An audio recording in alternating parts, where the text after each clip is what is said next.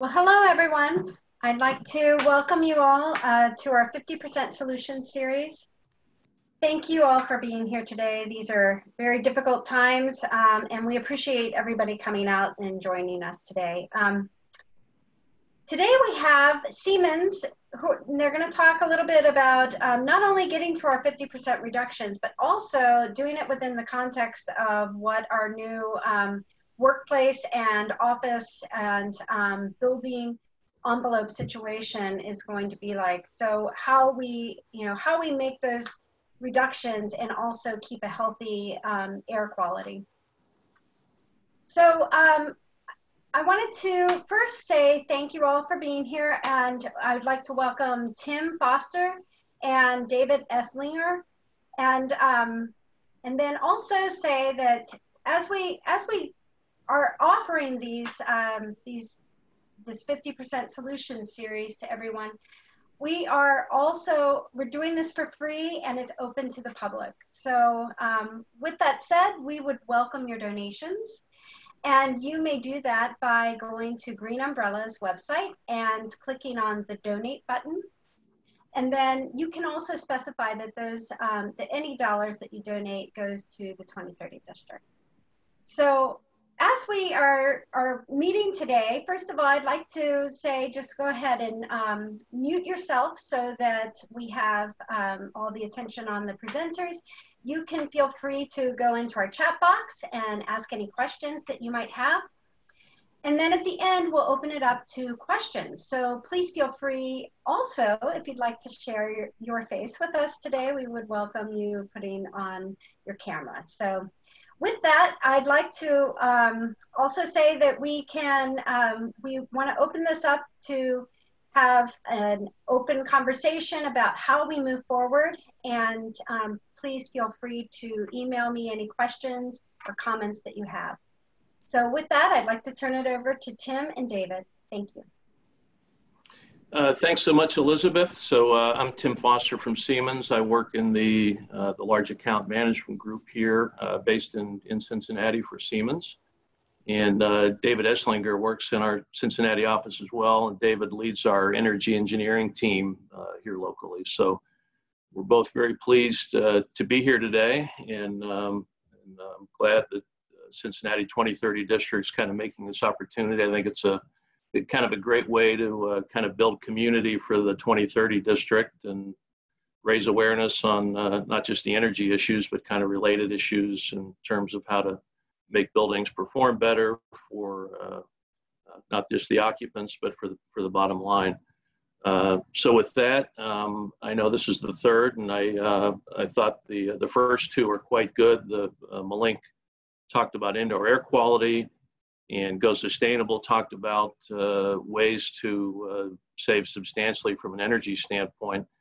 So this presentation sort of marries those two together, and it's uh, obviously very topical as we think about people re-entering the workforce and re-entering buildings, and you know what are kind of the operational strategies and what are the kind of the basic blocking and tackling that uh, the building owners should be thinking about in these times in order to improve the, the health and wellness of their buildings, as well as continue to manage uh, energy and, and carbon.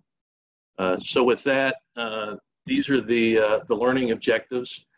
So we'd like to talk about common challenges to uh, facility operations. And obviously this has been impacted in, in many areas by the, uh, the current, current challenges. Uh, we'd like to summarize the what we'll call emerging public health recommendations. Uh, certainly nothing has been formalized, but I think things are starting to coalesce in terms of uh, uh steps a building operator should take from a, uh, an engineering control standpoint. Uh, increased outside air ventilation, maintain humidity levels, and also improve filtration and air cleaning in buildings. Uh, third, we want to talk about how to look at the problem as a holistic problem and not just a how do we drive down operational costs or how do we focus specifically on improving health, but really as a whole, holistic solution. And particularly, you know, thinking about some of the upcoming financial and budgetary challenges that uh, all, of our, all of our organizations are going to be faced with uh, it's going to be hard to compete with those dollars to uh, to kind of implement some of these solutions. So the, that's really importance in our mind of really adopting that holistic approach. And fourth, because Siemens is a building technologies company, and that's uh, where we see the industry going in terms of how can technology be used to create smart buildings and high performance buildings. Uh, we want to share some of those uh, those tools that can be implemented today, and also so some tools on where the where the general industry is heading.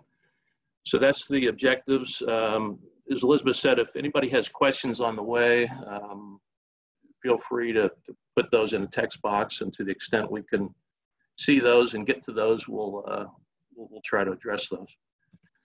So anyway, a um, couple of quotes that uh, that the, you know, what, what are we hearing from experts? And I kind of updated this yesterday just to kind of reflect latest thinking. But uh, upper left box, certainly there's been a lot of speculation about how the uh, COVID-19 uh, uh, virus is translated or transmitted through buildings. Uh, everybody's aware of the fomite transmission was where it falls into objects in, in a workplace or workspace or frequently touched objects the, question was, does it transmit as an aerosol, which would be airborne for a certain amount of periods, and, and by and large, can that be recirculated through buildings? So there was just a, uh, a paper submitted to the New England Journal of Medicine uh, over the weekend, I think, and, uh, and I've included a footnote there if you wanted to, to, to look at that. But uh, based on that preliminary information they've had, is that uh, both aerosols um, could be effective for multiple hours. Um, I think two to three hours in some cases. So, so, so, theoretically, and they they formulated that it is plausible that uh, that live you know pathogens could be recirculated through a typical commercial HVAC system. So, so that's obviously you know some cause of concern. Um, second box I saw that was interesting, the upper right about air filtration, uh, a quote from the CEO of Cushman and Wakefield. Uh, because you know China is probably several months ahead of us from impact, and they're obviously you know returning to buildings, returning to building the economy. Uh, Cushman manages you know several million square feet in the Chinese space. The, the CEO made the inter, uh, interview with Forbes magazine made the point that that air filtration is probably the most important lesson learned from China. Uh, reason being is that the Chinese buildings, particularly in large urban areas, um, have much more advanced filtration systems compared to the U.S. Just because they're trying to circulate, you know, as much out, as much indoor air as they can, just because of the general pollution problems in a lot of their urban areas. So, uh, you know, air filtration in China and Chinese buildings is uh, is, is, probably state of the art compared to, uh, to other countries, just for that reason. The lesson learned here is that they're they're finding that these advanced filtration systems are are effective. So I think that's uh, maybe some early lessons learned from the field and feedback to look at. Uh, lower left box, uh, some of you might have seen OSHA uh, release some guidance for preparing workplaces for COVID-19. And I think the significance of this, that you know, those of you who have dealt with OSHA or, or looked at OSHA compliance over the years, is that you know, uh, OSHA, the, the onus for compliance is typically on the the, the building owner or the workplace owner, not necessarily the employees.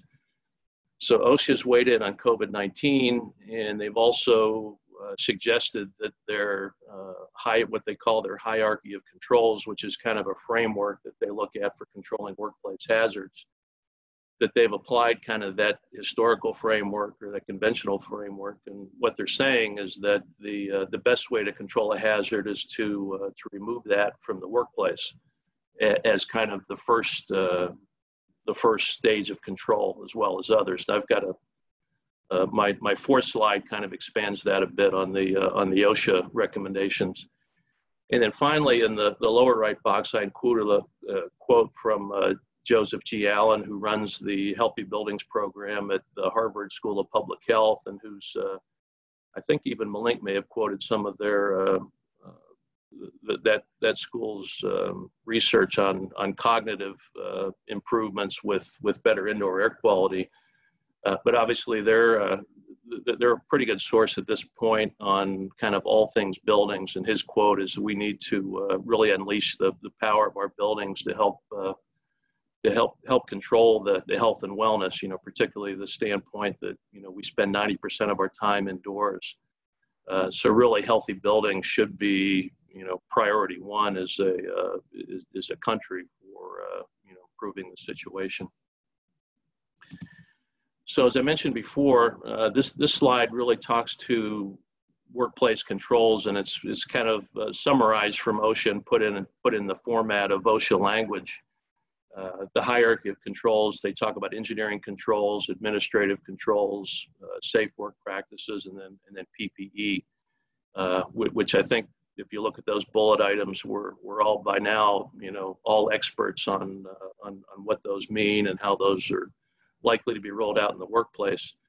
But for the purposes of this presentation today, I really wanted to, uh, to focus on engineering controls, and that are what are the things that uh, can be done within the building, uh, particularly the HVAC system, that can help mitigate or remove some of the, uh, the pathogens or other, other threats from the building. And as you see, the high efficiency filters, ventilation, and, and particularly to have a discussion on uh, on, on, on how those, from a practical standpoint, uh, may be implemented both in the near term and, and the long term. Uh, just a couple of thoughts about high efficiency filters and that, you know, we were talking before, that could be a whole uh, seminar in itself on selecting filters. And I think uh, David may have a couple of comments just in general about high efficiency filters, but there, there's, there's probably a double edged need right now. I mean, one is is is obviously removing uh, or if possible slowing down any any particular aerosol spread as we talked before but the other is just you know VOCs and other uh, off gassing in the environment just with the amount of cleaning. I mean some of these buildings are being cleaned five six seven times the amount of what we're you know they may be typically in, in uh, designed for. So um, we'll probably need more filtration and and, and um, ventilation rates just to offset some of the uh, additional, you know, cleaning products and, and, and other, uh, you know, other uh, things in the, in the environment from terms of indoor air quality. Um, so kind of switching gears. So this is kind of a, uh, a, a, slide that we've used at Siemens to kind of level set, you know, in terms of, of trying to understand what facility management challenges are. So this was uh, kind of put together before the current crisis and, and and one of the boxes was kind of the unknown what you know future you know what what's the uh, uh, future challenges that may have so obviously we've kind of run smack into a, a, future challenge now in terms of of what are the facility management challenges but but, but just in general is, is kind of we look at uh, o&m organizations that you know whether it's a large college campus or a hospital or a you know commercial building or a set of small buildings these all seem to be somewhat common challenges. Uh, most organizations can probably say, you know, two or three of these are top of mind. Um, but, you know, if, if, you look at how some of these uh, areas have been ex- uh, exasperated by the, uh, the current situation, you know, certainly from a manpower standpoint, the fact that uh, building owners and, and managers are, uh, you know, because of social distancing, you're going to have less of a staff on site people are working multiple crews, uh, service companies they're relying on are all the same. So people are much more spread out. So it's a lot more incumbent to be able to use uh, technology and tools to be able to, to help operate these buildings.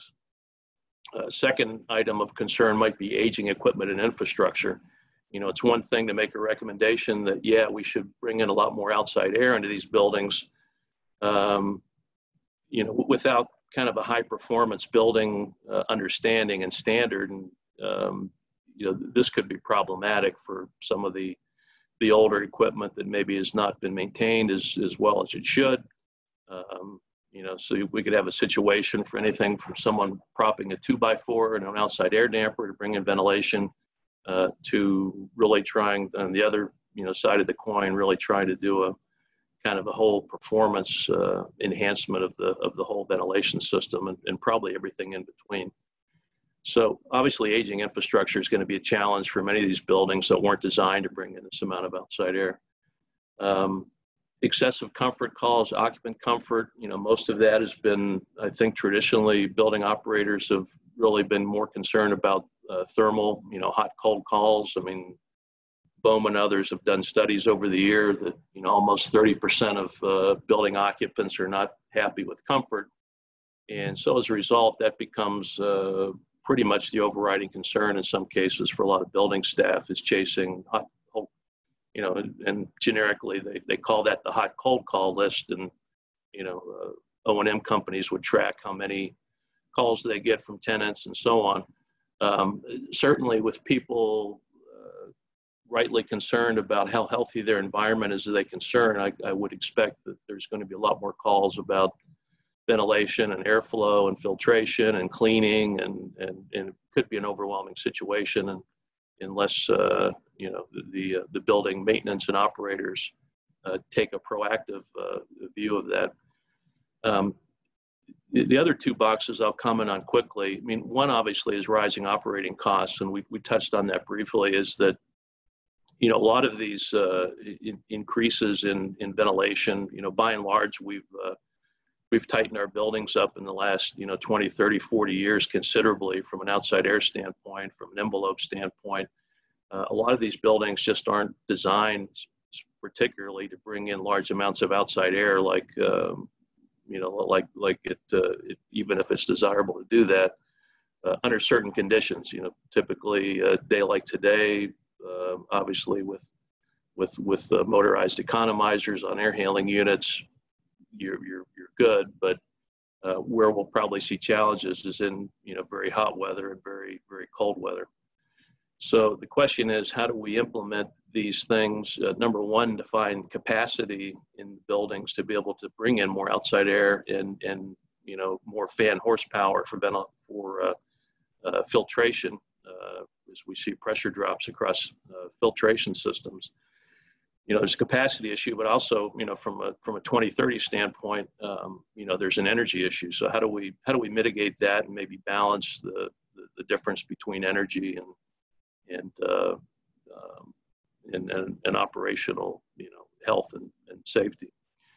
Um, and then the, the last thing I'll comment on is just lack of transparency. I, I know we've, you know, we've had calls on from managers of buildings that said, how can we determine what our outside air is now? If the, the mandate is, hey, we need more, you know, isn't there some standard where we, we should be able to determine what, you know, how is our system operating now? And the, you know, the, the, the fact of the matter is, you know, one, it's a, it's a, it's a pretty complex, uh, you know, in addition to mechanical ventilation, you have infiltration, you have the effect of wind, you know, for tall buildings, you have a stack effect. So the dynamics of determining how much outside air you have is, is more than just mechanical ventilation. Uh, but even if it was mechanical ventilation, the fact is a lot of building automation systems and systems in general uh, either indirectly calculate that or they don't do a good job at all of calculating that. So you're kind of relying on you know maybe historical balancing reports and, and that sort of thing. So, so those are kind of the over overarching uh, challenges that we see. And the one thing I think that, that, that has been good in the in the building industry the last couple of years has really emerged this concept of um, you know look look at a building as being a not just uh, you know an, an, a, an energy efficient exercise, but, but more of a that, that holistic approach. In the, uh, the the pyramid on the left, I'm sure a lot of you have seen has been you know very popular in, in presentations to kind of illustrate that point. Uh, this is actually uh, uh popularized by JLL, who's a, a large property management company globally.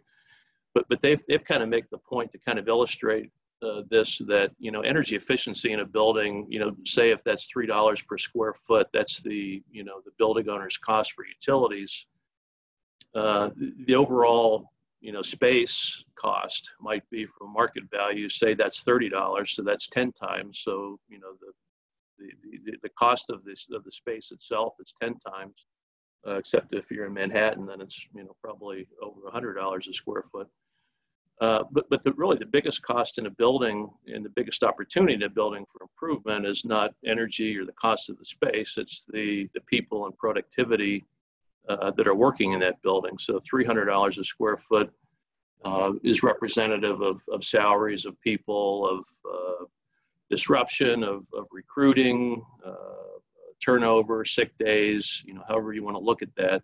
The, the, the uh, from a financial standpoint, the stakes are certainly much higher for building operators to focus on that 300. And so, um, you know, we, we believe that uh, all three of those are interrelated, you know, space utilization, workforce productivity, and building efficiency. You know, so we, we think that the, the way to really drive the best solutions is try to harmonize all three and, uh, and also recruit stakeholders from all three. So, you know, ordinarily say, uh, I saw a, a survey that said who, who in companies is leading up the go back to work effort within buildings. And I think, you know, 78% of the companies said, well, that's, that's our HR team is really kind of taken over that. Ordinarily, you wouldn't talk to HR about ventilation or, or, or filtration and air handling units. But this is probably a time you would. And, and the reason being is that I think the more stakeholders you have at the bottom of that pyramid, and that's another reason why I think they have a, a pyramid shape, uh, the, the better the foundation is to build these solutions. So, you know, I, I know a lot of times as energy efficiency professionals, we, we sometimes focus in on what's the best payback, you know, particularly if you have a limited budget and say, you know, you've got $100,000 in our energy efficiency budget to spend. You know, we'd like to say, hey, I want to I want to invest that so I get the best payback from an energy standpoint. Um, you know, in, in, in many cases that can be, you know, kind of a split incentives issue where if you work with with other folks that are in charge of space efficiency or overall people efficiency, there may be more, uh, you know, benefit to the whole organization just looking at that singularly. So, so that's what that's trying to say is that um, let's look at these buildings from a really holistic standpoint. And from a from a cost standpoint, um, this is really where uh, technology comes into play. And the, the, the premise here is that um, most buildings, you know, building owners, maintenance staffs are kind of in this reactive mode where they're answering hot cold calls, breakdowns. If, if we can flip that script and give them better intelligence, better analytics, um, we can we can change that reactive maintenance to predictive maintenance, uh, have better performing buildings, higher performance performing buildings, and at the same time, not only reduce the, their operations and maintenance costs, but also the energy costs by making the buildings higher performance. So that's the uh, that, that's the basic model that, from a technology standpoint that we we try to look at is how to how to look holistically at, at all those buckets and, and drive down the uh, operating costs in the uh, so, um, so I'm going to ask David now to kind of get into some uh, explanation on, uh, you know, and, and, and this, this admittedly, this, this presentation is kind of aimed towards larger, uh, larger building air handling systems. So this is an illustration of a built-up air handling system with hydronic valves, you know, cooling coils and central chiller plants and that sort of thing. Obviously, not all buildings are going to have that, but, but, but, but the ideas are basically the same. So if you don't have that, you may have a packaged rooftop unit or, or some other means of heating and cooling. But, but a lot of the ideas I think can be applicable uh, across, you know, most building types. So David, if you don't mind, could you uh, sure. kind of lead us, lead us through the fault detection and, and some of the other examples here? Yeah, yes. And on the previous slide, Tim was emphasizing that analytics is the key to transitioning from a reactive maintenance to a predictive maintenance mode, and also a way to save energy and maybe offset some of the increased operating costs we're going to have through increased ventilation or other COVID 19 mitigation strategies. Um, but, but what is analytics, particularly when it comes to looking at HVAC systems? Sometimes it's referred to as fault detection and diagnostics, and uh, where we apply rules to analyze if something is going wrong with an air handler. Now, these rules aren't alarms. This isn't an alarm to tell you that the supply fan has stopped running or the space temperature or the um, supply air temperature is way too high. But in fact, they're, they're more um, faults that can grow over time to indicate that they, you might have a dirty filter or you might have a leaking heating or cooling coil valve. Um, and these rules are best applied over a uh, batch of historical data. So rather than looking at instances in time and flagging alarms, we call them faults and looks over a body of evidence. And that is best done in the cloud rather than uh, on site in a building automation system server. Um, typically, that information is gathered from the uh, the building automation system and put up into the cloud. Um, there are lots of software packages out there. Siemens has its own, of course, to, to marry not only with its own building automation system, but uh, but others as well. So I don't know how many of you have our facility managers yourself or can relate to um, a weekly exercise when the operator comes in, you know, uh, maintenance supervisor comes in and spends a couple hours every Monday morning paging through all the equipment screens looking for potential issues, whether that's a stuck air damper or um, something not running. If you could have a sentinel that is uh, viewing that information all the time, analyzing it and spitting out when there are faults, um, that's a much more efficient use of time. And a lot of times the the energy benefits that go along with identifying and correcting these issues pale into comparison to the uh, personnel savings from being able to direct your maintenance folks as efficiently as possible. Tim, I think we can move on. So this slide is um, kind of a compare and contrast the traditional uh, checklist of, of things that you inspect every year on an air handler versus rules and faults that we can look for on a continuous basis. And this fits really nicely in with a continuous commissioning process rather than a one time check of an air handler where it may be once a year or once every three years, where you really go through and, and, and look at all the calibration of all the sensors and um, all the other factors that drive the air handler's operation. It's much better to look for correlations between those um, sensors and the operation of the unit to see if there's anything going amiss. And it's much more efficient to do with uh, fault detection. Tim, you have any comments on that? Uh, that slide. Um, this is an example of results from a continuous commissioning process at the University of Oregon, one of their air handlers that if we just look at one parameter that drives energy, that's of course the ventilation speed or the, the fan speed. Um, this fan was operating during weekdays and a little on the weekend and uh, averaging about 70% speed um, and even higher on Mondays and Tuesdays. But afterwards, after the continuous commissioning process and going through and looking at faults, identified some issues the um, operation of the fan became uh, much more predictable and uh, consumed less energy. Now, this could be from various things, identifying you know, uh, dampers uh, issues, could be filter issues. But a lot of times, when you look at a fan operating like this at a high VFD speed, it pushes you to look downstream at some of the VAV boxes and other terminal devices. So not only can we take in information into a cloud-based data analytics system from the air handlers, but also from the terminal devices to look for uh, damper issues and valve issues on those. And sometimes those drive, um, uh, fixing those issues can really have a significant impact on the air handler itself. And I suspect this that was the case here. We found some terminal devices that were wide open. And by being able to control them again, the fan came back under control and used less energy.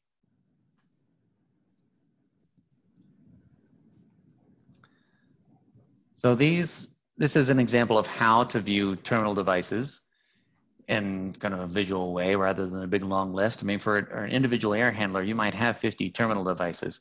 So it's hard to scroll through those on a, manual uh, process you know, every Monday morning, you might be able to look at the air handlers, but there's no way you're going to be able to scroll through all the terminal devices.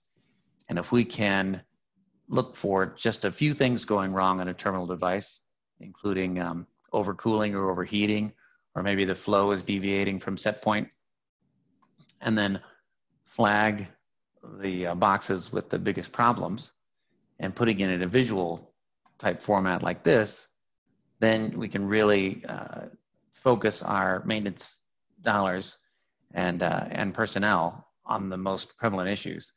So you would think that um, you know, a graphic like this could help you predict where you're going to have hot and cold calls today.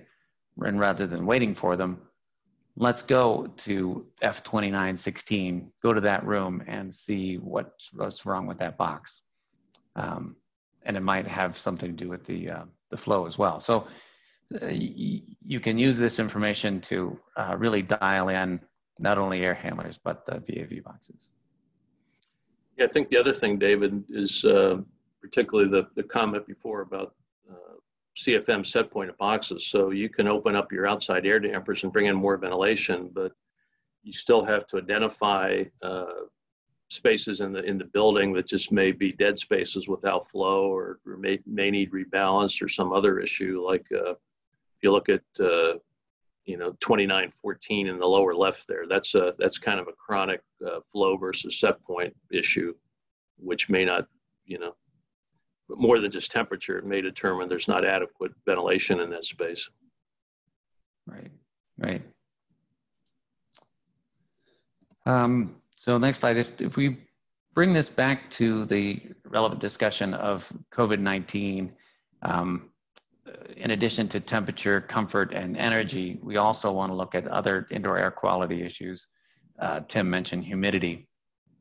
Um, I, I, can easily understand the correlation between high humidity and growth of fungus molds and other things, but um, I was really struggling until recently to understand how humidity played a role in the spread of, of uh, viruses. And I heard everything from, you know, the, the right humidity levels will allow the right moisture content in your nasal, nasal passages and lungs to help your um, mucus system work better. But I read a really good article the other day that talked about that, that really the issue is when you have an aerosol uh, breathing or sneezing, and it's contaminated aerosol, those uh, viruses are encapsulated in, in moisture uh, particles. And if the humidity is too low, those uh, the moisture surrounding the virus will actually evaporate, leaving the virus in sort of a desiccated form that is m- much smaller and much lighter. And so it stays in the it stays uh, airborne longer instead of settling on surfaces, and it will actually pass through uh, more filters compared to if it, you're in the right humidity levels, the moisture doesn't evaporate and you have a much larger particle that encapsulates the, the virus.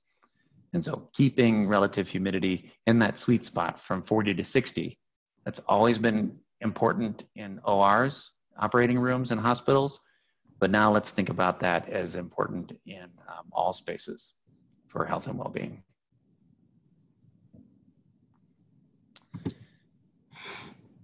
So um, to transition a little bit here and speak briefly about the largest energy consumer in a building um, besides lighting is typically the, uh, the chilling, chill water or air conditioning systems. Um, all the things that we're doing to improve ventilation uh, downstream at the boxes and then the air handlers will help uh, reduce load off of the uh, chill water system. Unfortunately, if we're going to increase the amount of outside air coming in, the amount of fresh air to help with health and indoor air quality, then we're going to put more strain on those uh, chilled water systems this summer. So watching the efficiency of those chilled water systems is very important. And um, the analytical tools available are, are, a great way to do that. Because if you just look at your uh, chill water plant on any given day, it's really hard to make a qualitative judgment whether it's using too much energy or is just right. or is, or is uh, very efficient operating because you, you really, it's hard time, it's hard to correlate load and energy, especially if you're looking at the individual pieces of equipment. If you wrap them all together and calculate a cumulative kW per ton and compare that to um, where you think you should be, and it's not just one number, you shouldn't just be at 0.8 kW per ton, it's a fluctuating target based on load, outdoor air temperature, etc. And uh, by charting all those factors, putting them together, we can predict what kW per ton could be, compare that to actual, and uh, maybe compare that to an old baseline where you were before an optimization of a chilled water plant happened. Then you really get an idea of, of your biggest energy user and how well it's operating. Yeah, the, the, other point here is that, um, you know, we, we usually look at this as a way to increase the efficiency of a chilled water plant, but the, uh, you know, the other side of the coin of efficiency uh, often is capacity. So, uh, you know, we're aware of a lot of buildings that would uh, start restricting outside air when it's, you know, 90 plus degrees out, high humidity days, uh, just because they don't have enough capacity. So, and in in, uh, in in some cases, even though the majority of savings are probably under part load conditions for these sort of things, uh, there are some kind of design capacity uh, additions that can be found that could could be helpful in some cases, and you know, kind of mitigating where your chilled water system is just not sized enough to bring in more outside air. Thanks, Dan. Okay. Um, so, uh, in, in, the interest of time, I will kind of speed up here a bit. But uh, you know, the other thing I think that uh, a lot of a lot of folks are really seeing the value of is is delivering uh, not just the uh, analytics remotely, but just remote service. So, uh, you know, I think this is probably a good time for every building automation system provider and, and operation provider to really be aware of you know how how much of this can be now be done remotely. I mean we the studies that we've seen internally at least that you know about 60% of our service calls can be resolved remotely.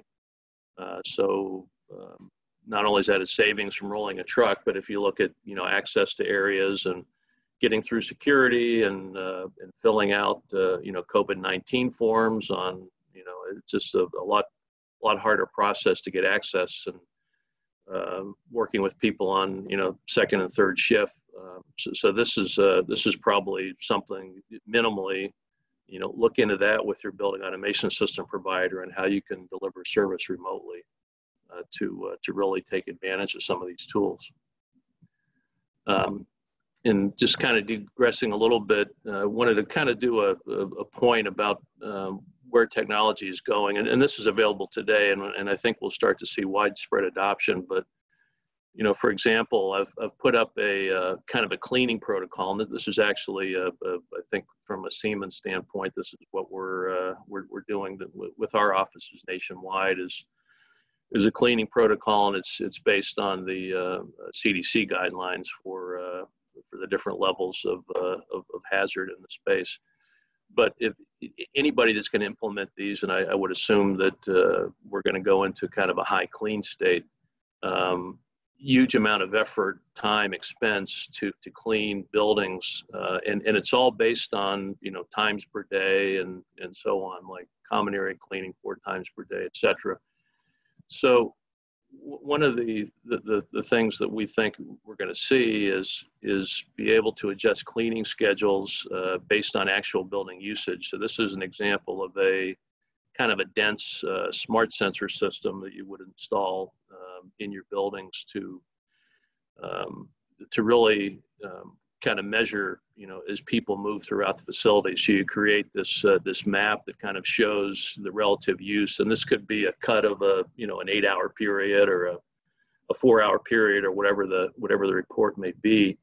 But it really gives you maybe more actionable data. So instead of cleaning every restroom um, four times a day, uh, maybe you can kind of spot the restrooms that have the most, and then you can kind of deploy your your cleaning resources to uh, to w- where they uh, you know were likely to be the the most uh, most effective, as well as other areas of the office. in uh, so, so the challenge is if you're running cleaning operation, you'll say, well, that's pretty expensive. I mean, we're not going to install, you know, thousands of sensors in our space just to improve our cleaning. And I would agree, you probably wouldn't. But the uh, the idea of this IoT-enabled uh, smart sensing world that we're we're all entering into is that that data can be shared and used in, in multiple applications. So, you know, think of uh, think of any application in a building where you where you really want to understand in a very granular way building occupancy. So that could be anything from you know HVAC strategies, uh, lighting strategies, and, and very often these things are associated with a lighting control system to be able to do uh, localized lighting and daylighting and, and so on.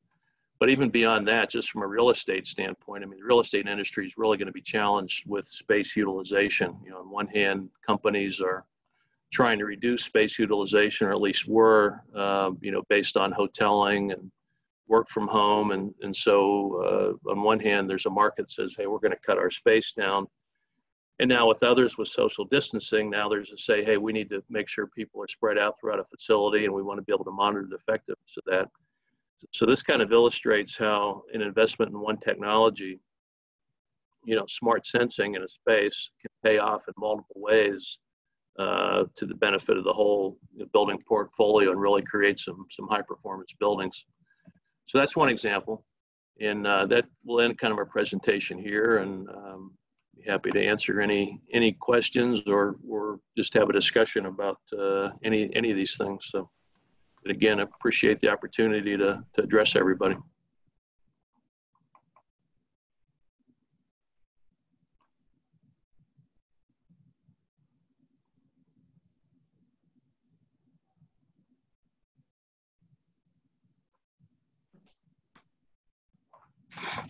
Everybody can feel free to unmute yourself and ask questions.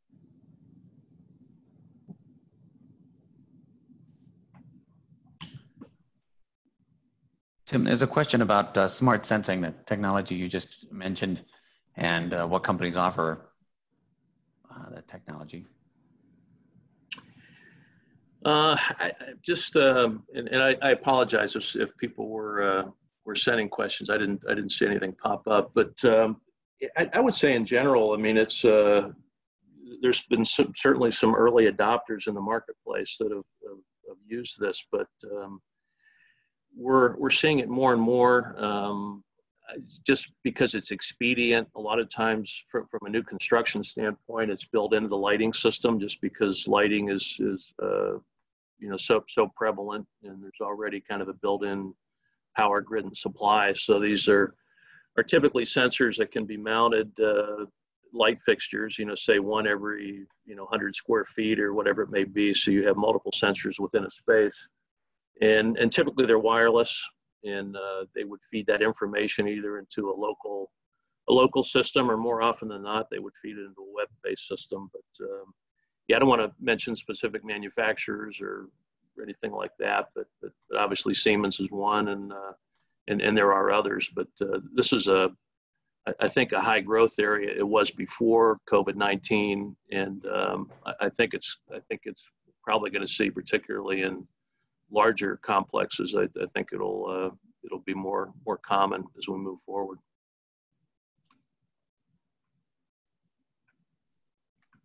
Um, I have a question as people as as spaces are adapting and um, workspaces may be reconfigured or um, you know make making space either more spread out or more condensed due to more people working from home is that an opportunity to make some upgrades to their to their space to their hvac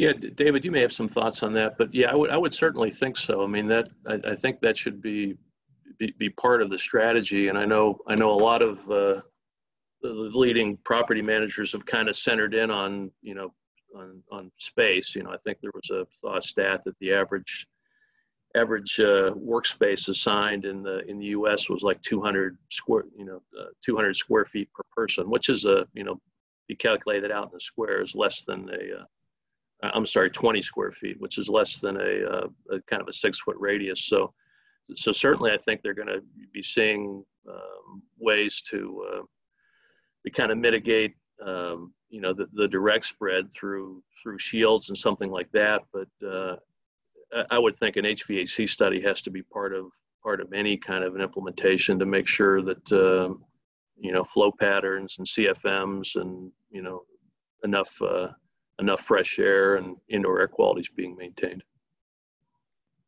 Yeah, that's right. And and as spaces are utilized differently, we can think about ventilation rates uh, being different. So while we might need more outside air, maybe you want to reduce the overall uh, supply air volume because there are fewer people in the space, um, or we just don't want to blow around the aerosols as as aggressively.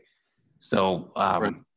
We can uh, those systems that have constant volume fans out there uh, really would look towards variable volume fan retrofits and uh, being able to uh, modulate those speeds based on uh, some dynamic uh, factors in the building.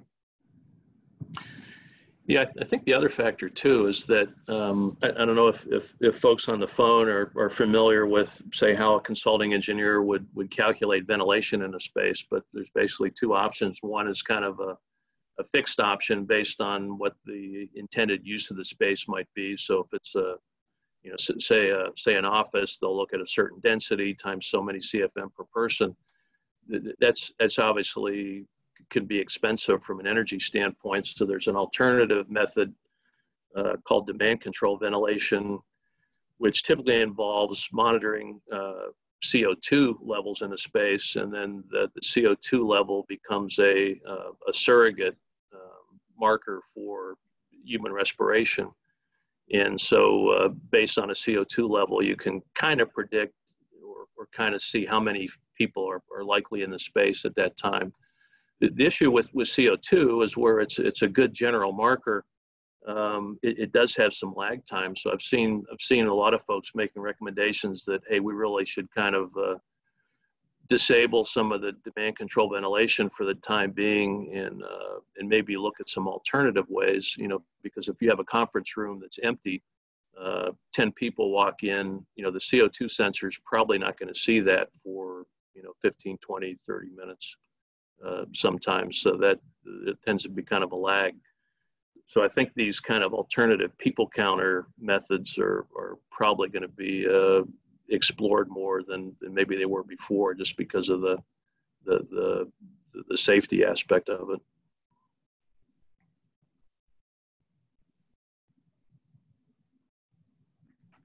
Was wondering if Tim, if you guys could maybe touch on a little bit about the different uh, sort of healthy building ratings systems that are out there, and sort of whether or not you had any high level uh, insights into maybe some of the nuances between them, such as Fitwel and Well. Uh, yeah, I, I, I cannot, and I, I um, uh, David, I don't know if you have any experience with that, but um, Uh, other than I listed those because I know those are out there, and uh, and, and certainly there's there's folks in Cincinnati that are, are not more tuned into that. Um, I think the uh, M and A uh, presentation next week. I know they're uh, um, you know tuned into the the well certified standards. Um, so so I think uh, I, I, think from what we're seeing, you know, if you had to kind of see where is that at, the, the healthy building standards are kind of where you know, I would, I would say where, where LEED was uh, 10, 15 years ago, you know, kind of early adopters are interested. Uh, you know, there's a, there's actually a building right next door to us here um, that, that, I think is the, the first and, and maybe the only well certified building in, in Cincinnati. We, we right next to our office out here in Forest Park. And uh, so it was kind of interesting looking at that case study. But uh, but but I you know if you had to make a prediction, you would certainly see that these standards are now front and center for for IAQ. Um, and, and, David, I don't know if you can add to that um, about differences in any of these. Not to the rating systems, no.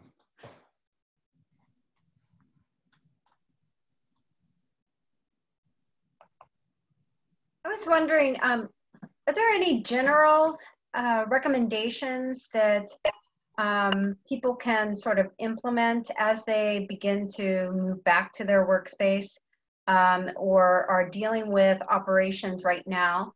Um, are there any general recommendations in dealing with our new COVID pandemic? Uh, Elizabeth, I mean, other than the kind of the, the ones that I listed from, you know, kind of on that, that second, third slide on the, the different protocols and, you know, engineering versus safety and so on. Um, yeah, I mean, I, I think, I think if I were a building owner, um, I would probably start with the, just the very basics and, and say, because it, it's hard to say you know, because this stuff is changing so quickly, um, you know, certainly you wouldn't go out and replace your HVAC system unless there's some other compelling need. But but if you know, you would probably want to uh, at least understand in your building how you're bringing in outside air, where the outside air is being brought in, to what extent the controls are working or not working that you can predict. Uh, and then if you you know to the extent that you that you uh, decide more outside air is called for, how can you do that from a performance standpoint? So, so I know that that's pretty pretty general, but I, I think uh, I think a lot of folks are kind of starting from that that um, you know that that aspect uh, because there isn't a lot of visibility maybe outside the uh, original design documents and, and times on what uh, you know what uh, what those uh, air change rates are. Yeah, that and checking on the the integrity and the condition of air filters. Yes.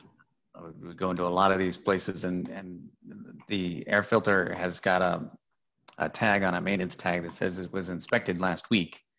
And turns out that the inspector came by, read the delta P across the filter, and because the fan speed was so low at that moment in time, the filter passed. But you open it up and it's obviously coated in grime, and um, so much so that um, when the fan's at full speed, it'll actually break apart the filter. And so I think looking at the those and changing those to um, you know the highest quality filter you can find is a good recommendation. Highest quality filter you that will fit, I should say. Yeah, that's a that's a good point, and I I think you know in in in general people should probably be educated about how filters are rated. You know, there's a there's a, a MERV system uh, that that kind of